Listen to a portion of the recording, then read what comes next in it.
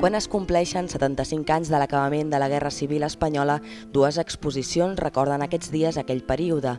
El monestir de Pedralbes, una mostra posa en valor el paper que va assumir com a protector del patrimoni artístic i cultural.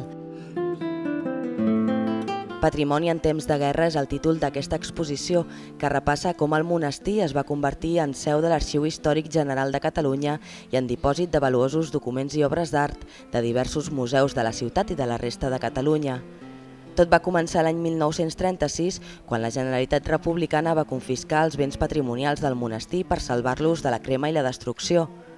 L'edifici també va custodiar importants quadres de particulars provinents de Madrid, entre els que hi havia signatures com les de Velázquez i Sorolla, i a partir del 39 es va convertir en dipòsit del Servicio de Defensa del Patrimonio Artístico Nacional. Malgrat el caos del moment, doncs hi va haver una tasca molt important d'inventari, de, de recerca i de protecció, no era totalment improvisada perquè ja anys endarrere, al començament de la República, la Generalitat ja havia fet una sèrie de lleis i decrets que, que l'avalaven.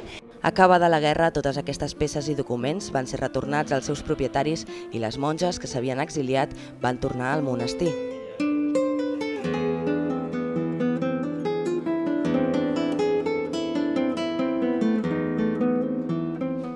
En el mateix període s'emmarca l'exposició Barcelona en postguerra 1939-1945, que trobareu al Castell de Montjuïc i que mostra 250 documents, principalment fotografies, que il·lustren com van patir els barcelonins els efectes de la dictadura. Des de l'entrada de les tropes franquistes a la ciutat el 26 de gener de 1939 fins al final del mandat de l'alcalde del règim Miquel Mateu i Pla el 1945, la mostra copsa la repressió viscuda en tots els àmbits de la ciutat, des de l'escola fins a la vida política és un bon motiu doncs, aprofitar les efemèrides, com és el 75 aniversari de la fi de la guerra, per recordar uns episodis que desitgem que mai més tornin a passar. No? És a dir, es diu que un poble que no té memòria és un poble que repeteix els errors. No? I per tant, aquest tipus d'exposicions, més enllà de la voluntat commemorativa que tenen, també tenen una voluntat pedagògica i una voluntat de reflexió col·lectiva al voltant d'uns fets tràgics.